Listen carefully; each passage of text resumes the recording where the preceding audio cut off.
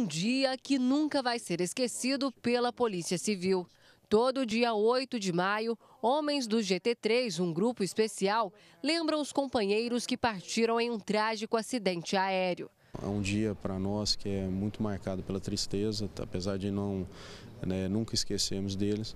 É, hoje, no dia 8 de maio, foi colocado um dia oficial para lembrar e homenagear essas pessoas que faleceram no dia do, do acidente aéreo.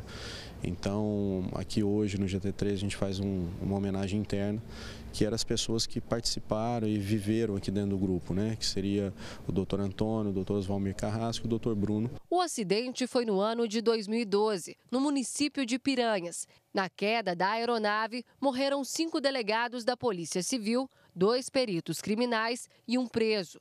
O grupo investigava uma chacina na cidade de Doverlândia. O homem que estava no helicóptero era suspeito de matar sete pessoas da mesma família. Os policiais tinham ido até a fazenda onde tudo aconteceu para fazer a reconstituição do crime. Na volta, a aeronave caiu. O caso comoveu todo o estado e teve repercussão nacional. O inquérito sobre a queda do helicóptero só foi concluído há 15 dias e remetido ao Poder Judiciário. O caso está na Justiça Federal por se tratar de um acidente aéreo. Segundo a Polícia Civil, a demora de seis anos na investigação foi por causa da complexidade do caso e também pela espera de laudos, incluindo do CENIPA, que é o órgão responsável por investigar acidentes aéreos. Algumas aeronaves estavam muito destruídas, é, acabou ficando muito difícil a questão do laudo, então foi algo complexo que demorou bastante.